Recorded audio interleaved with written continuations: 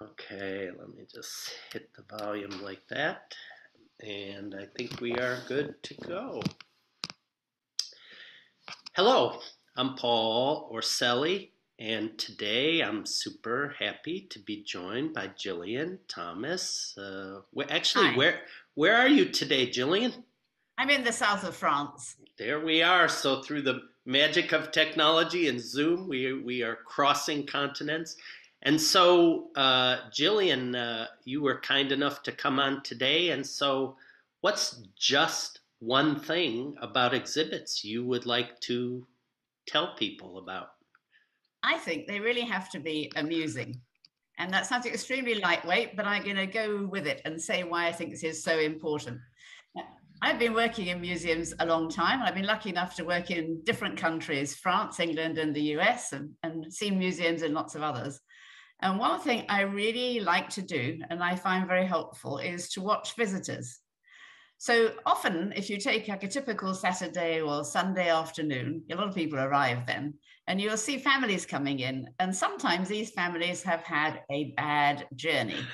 So maybe they couldn't, they had a row in the car. I don't know. They couldn't find anywhere to park. There was probably one adolescent in the family who didn't want to come anyway, who's kind of shuffling along behind, doesn't want to be with them at all and they look thoroughly miserable and then you feel sorry for them and you hope they're going to have a good time and then you don't really watch them all the, through the afternoon but just sometimes you see the same family on the way out except it's not the same family because they're talking to one another and laughing and the adolescent's holding his sibling's hand and they've just obviously had a really good time. And i think to myself well we've added to the sum of human happiness. We've increased their sense of well-being. Actually quite hard to say what is this magic that we managed to achieve but it's you're onto something and you really need to kind of work out what it is and see how you can make that the experience that everybody enjoys to turn a dysfunctional family into a cohesive and happy one I just think that's great. I I, I know there are um, just like there are gross domestic product indexes, there are happiness indexes in in Yeah. countries, and so I think maybe that's an interesting way to evaluate. Uh, uh, uh, you know, not every museum experience, but some museum experiences, like how how have people's happiness or how how has Yeah. how happy are are people after they are leaving a museum experience. So yeah some restaurants are doing that sort of assessing people coming in and seeing if they're happier going out which you hope they would be and there's some studies going on about how museum visits increase well-being so John Falk is doing that, and some uh, up with Milo Mikko in Finland. So I think there is a sort of area here, but we'll sort of get on to why I think it's important. So I've worked in science museums, science centers, and children's museums. And the science museums, if you think about it, it's like if you're not a regular museum visitor, you've got science, all kind of frightening, a museum, old, dead, and boring. So a bit up there with like funeral parlors or some other kind of concept that you don't really want to go to. And some years ago, when I was at the Science Museum in London, they carried out a study of people who did not visit or had not yet visited the Science Museum to see what sorts of things people were thinking about visiting and try to classify the various attractions and museums in London into two groups. And these groups were called want to, I actually really, really want to go there, and ooh, ought to, and you can guess which one the Science Museum was in. Now, it's not actually as bad as it sounds, because if you think about it, in the, for the UK and England, there's a lot of people living there. If they all think they ought to, they'll turn up sometime. Maybe that three times in a lifetime visit we talk about when you're seven, when the parents are seven, the kids seven, and when your grandchild's seven. But they ought to come. But that doesn't mean they're going to necessarily enjoy it. More recent data, PGAV, the Voice of the Visitor for 2021 that came out, I'm afraid shows something a little bit similar uh, in terms of what people had visited. The science centers and children's museums were the absolute bottom. Now, this is like just post COVID. So I know people were preferring to go out and prefer the national parks or places with gardens and so on. And uh, art and history museums were sort of halfway down. I thought that might be due to the fact that they're not generally super full of people, so that people would be more spaced out and less worried about COVID there than in like a children's museum packed out with kids that are all breathing bacteria everywhere and viruses. But it does mean that you've got a kind of challenge there. For most people, these are not things at the top of their list for where they might want to go. And for the coming year, in the same document, it's showing that um, things that people want to do, visiting friends and relatives is very popular. So when they were coming, they could be coming, but it doesn't specify anything to do with this area of science museums, science centers, children's museums. And uh, also intergenerational travel is popular. So focusing on these groups is a way ahead, but for the moment, it's not the top of everybody's mind. So let's just go back a bit to what Paul was saying. Why is this important? Well, people really want need to enjoy the experience. Why? They need to relax for themselves, but they need to relax because we want them to engage with the things that are there in the museum. And unless they're in a kind of play type mind frame, willing to have a go at stuff and are feeling relaxed and comfortable and happy, they're not actually going to have much of a time. And the majority of parents that come, especially if they're not regular museum visitors, are in an ought to frame of mind. So we ought to go because it ought to be good for the kids. And you actually kind of see them offering their kids up for stuff like, here you go, have a go, and sort of pushing them forward to participate in things that they could participate in too, but it's for the kids. I've also seen parents uh, with kids who'd be quite happy to run around and get involved, holding them tightly by the hand because they're frightened of this museum, right? And they don't want to let their kids go because they might do the wrong thing and get into trouble. So, this whole business about making it comfortable, friendly, welcoming, it's actually really important before you even kind of get over the threshold. We talk a lot about getting over the threshold, but you've got to get over the threshold in the right frame of mind. And uh, quite a few surveys show that at this particular moment in time, when many people are feeling stressed and overworked and underpaid and threatened in one way or another, that people are looking for relaxing, switch off, comfortable kinds of things to do. And that's where museums can really play an important part because if you can get them engaged, then they're definitely going to be doing something special. So, uh, it's important. Yeah, so I'm so I'm just wondering, uh, especially since you you you brought up science museums, which uh, a lot of people, rightly or wrongly, think about as serious. Um, how how do you inject that sort of humor and comfort into a situation like that? That that's part one. But also, I, I can just hear some of our colleagues saying, well, you're just dumbing down uh, the the meaningful experience of science or history or art or that, you know. So, what what do you say to those people? They're wrong. well, that that's it. That's the end of the video. I guess we've settled everything.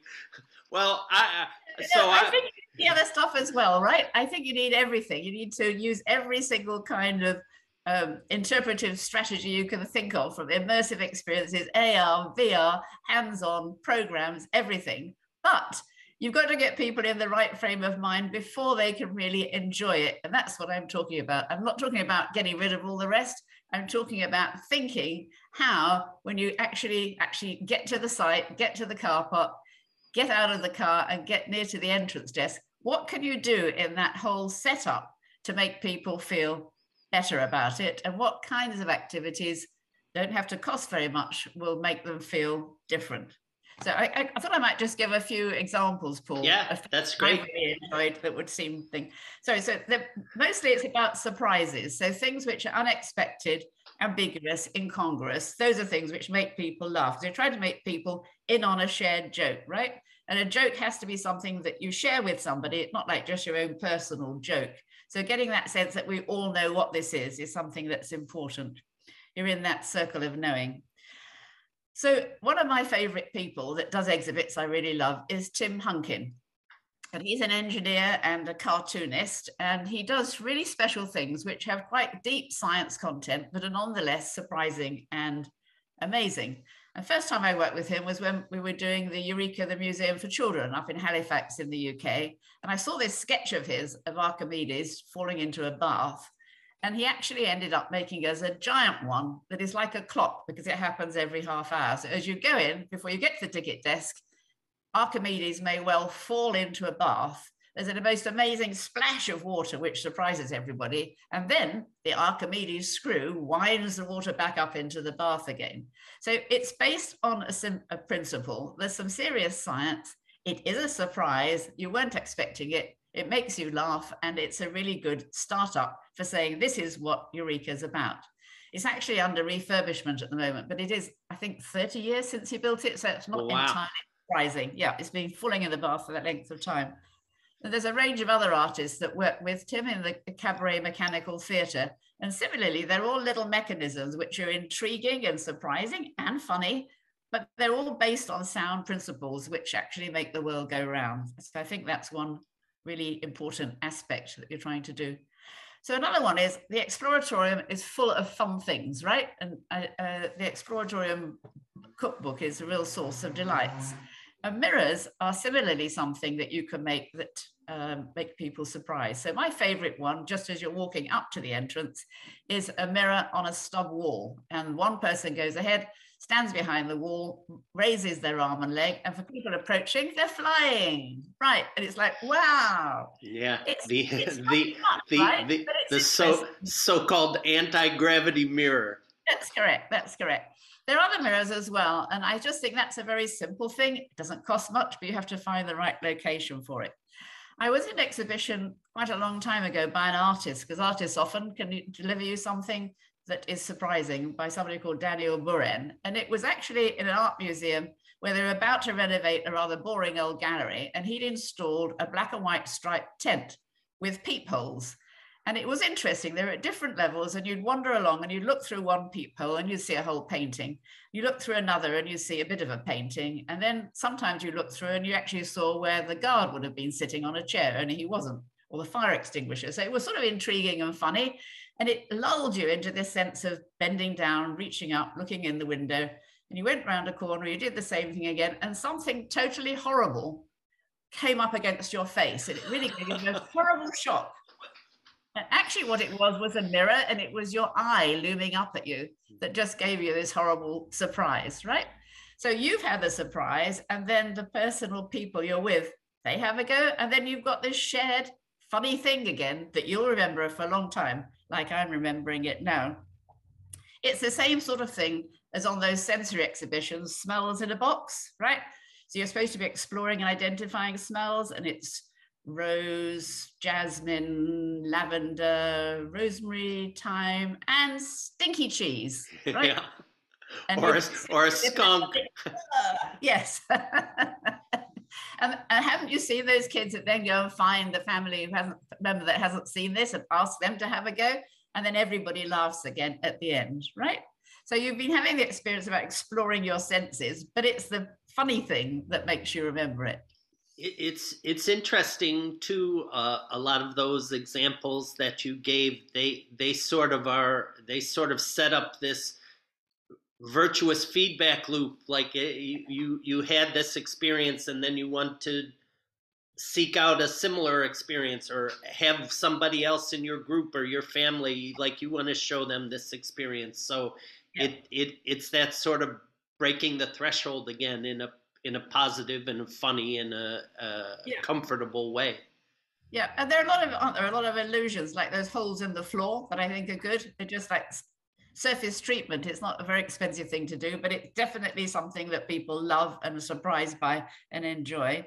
And uh, there can also be forbidden topics uh, that you sort of show through graphics and other things, such as how do astronauts go in space? That's something people always like to find in the washrooms if they haven't seen it before, right? Those sorts of topics are also fun. And then I don't think we should forget about um, things where they're not just about visual stuff, right?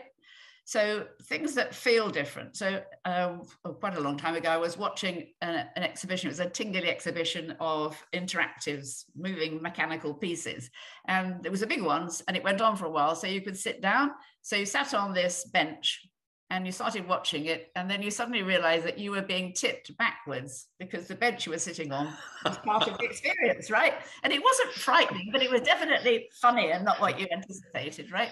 And so I think those sorts of things where you think you're going to sit on a hard seat, but it's actually soft, They're physical, which are important because not everybody has great visual acuity and they need to be sought out and thought through and integrated as well. So these are just some of the examples that I've loved, Paul. There are thousands more out there. We might do a collection of cheap and simple things that people love that are funny. Um, and that would be kind of something we could all enjoy just to get yeah. people over the threshold. Well, in in in that spirit, and uh, especially you mentioned Tim Hunkin and uh, John Falk and some other things. Since since we're on YouTube, and Tim Hunkin's definitely on YouTube, so yeah. we'll include some links uh, to some of the things that we spoke about. And I guess I just I just like to end up and cap off and and thank you for today. But I, I just like to underline something you said earlier, which is this sort of unexpected aspect of humorous or exciting situations and the, the example you gave in the Tinguely ex- exhibition with the with the bench sort of going out. I think looking for those unexpected ways to treat topics or unexpected ways to involve the exhibitions or displays is really a nice way to bring in those aspects of humor and enjoyment to the experience. So we want people to have something where they have a sense of delight in what they were doing, right? It's beyond fun. It's delight. That's what we're after. That you get involved, you relax, you're really enjoying it, and you can share it with your family and friends. Well, thanks, Gillian. I was delighted to speak with you today, and I appreciate you sharing just one thing about exhibits. Thanks very much. Thank you for the opportunity. I enjoyed it. Bye for Thank now. you.